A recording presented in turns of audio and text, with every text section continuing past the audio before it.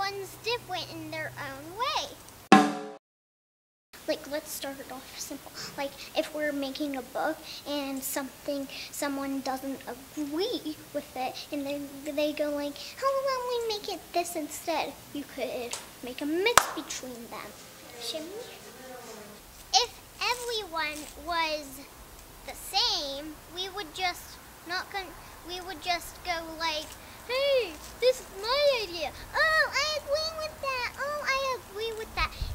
And not like taking the hard steps in life to include everyone's ideas.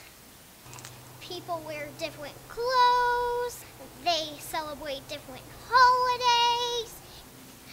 You can involve people to, to like make wider ideas.